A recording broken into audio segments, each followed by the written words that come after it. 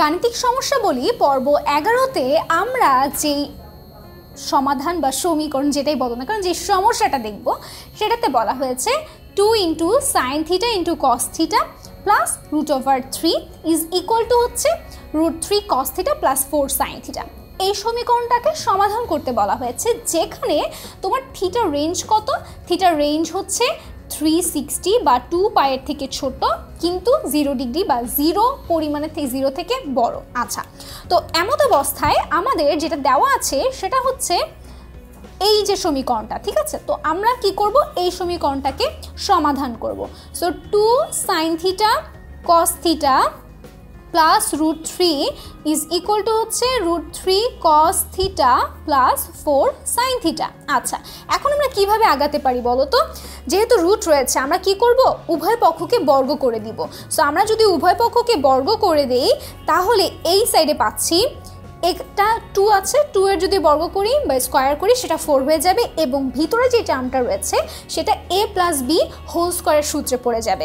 So আমরা যদি সেভাবে লিখি, এটা ফোর হলো ভিতরে থাকছে, এটা হবে এ স্কোয়ার তার মানে এই স্কোয়ার হলে এটা কত হবে? Sine square theta into cos square theta plus two A B আচ্ছা টু এ হচ্ছে আমার এটা বি হচ্ছে এটা। সো এটা আমি বিটা একটু আগে লিখলাম, সমস্যা নেই। এ হচ্ছে sine theta cos theta plus আমার যেই টার্মটা থাকছে, অর্থাৎ B whole square root three whole square করলে সেটা থ্রি হয়ে যাবে। সো এটা কি গেল আমার বাম পক্ষের কাজ। এবার আমি করব কি? ডান পক্ষের কাজ করব। এই ডান পক্ষে।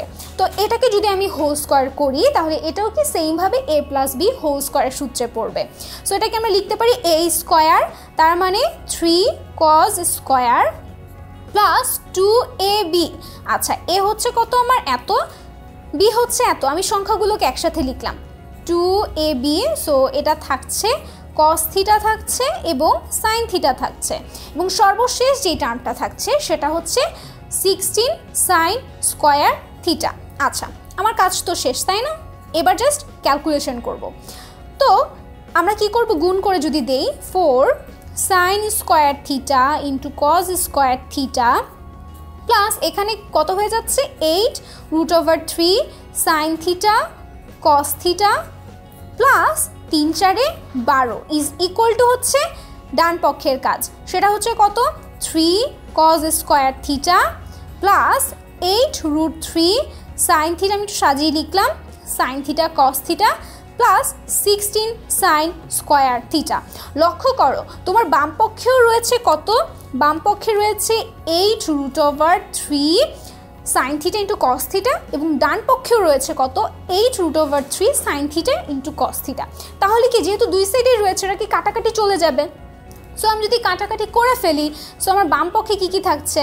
Four sine square theta cos square theta plus থাকছে টুয়েলভ ইজ ইকুয়াল টু হচ্ছে আমার three cos square theta plus sixteen sine square theta আচ্ছা এবার তোমার উপর নির্ভর করবে। তুমি কি সবগুলোকে সাইনে কনভার্ট করবা, নাকি সবগুলোকে কজে কনভার্ট করবা? তোমার যেটা সুবিধা হয়।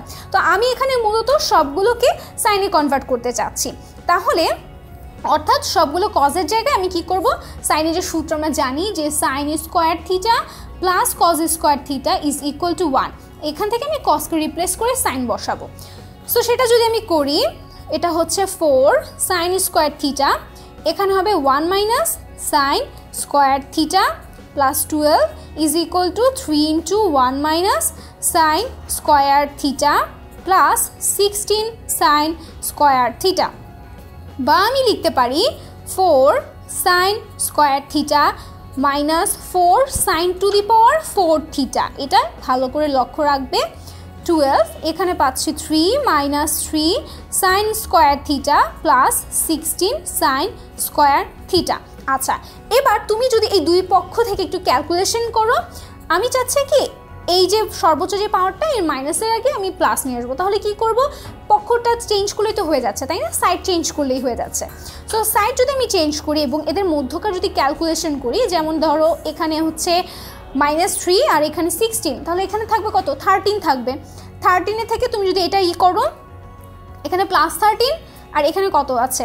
ফোর থাকছে। সো আলটিমেটলি ক্যালকুলেশন করলে সেটা হয়ে যাবে নাইন তো আমরা যদি একবারই ডিরেক্টলি লিখে দিই, তাহলে তোমাদের জন্য সুবিধা হবে বিকজ না হলে জায়গাতে একটু সমস্যা হয়ে যাচ্ছে। আমি লিখতে পারি সাইন টু দি পর ফোর থিটা আমি আশা করছি তোমরা সেটা বুঝতে পারবে।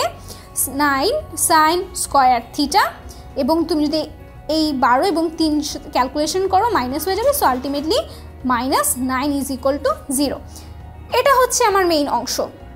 এবার আমরা কি করব? মিডল টার্ম করব। সো আমরা যদি মিডল টার্ম করি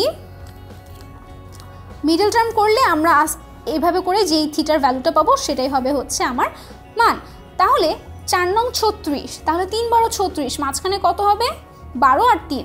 লিখতে পারছি four sine to the power four theta plus twelve sine square theta minus three sine square theta minus nine is equal to zero তাহলে এই সাইড থেকে আমি পাচ্ছি four sine square theta minus three into পাচ্ছি sine square theta plus three is equal to zero তাহলে দুইটা side পাচ্ছি, তাই না? আচ্ছা তো দুইটা সাইড থেকে যদি একটু ক্যালকুলেশন করি four sine square theta minus three is equal to zero এদিক থেকে পাচ্ছি সাইন স্কোয়ার থিটা এটাকে আমি এদিকে পাঠিয়ে দিই মাইনাস থ্রি হয়ে যাচ্ছে। লক্ষ্য করো, আমরা জানি সাইনের মান কখনো মাইনাস ওয়ান থেকে ছোট হবে না এবং প্লাস ওয়ানের থেকে বড় হবে না। কিন্তু এখানে কত এসেছে বলো তো? মাইনাস থ্রি এসেছে। এটা একটা লজিক হতে পারে একটা লজিক হতে পারে, যদি তুমি রুট করো রুটের ভিতরে কখনো মাইনাস হতে পারবে না। সো কোনোভাবেই এই যে অংশটা পাচ্ছি আমরা, এটা আমাদের শর্তের সাথে মিলছে না।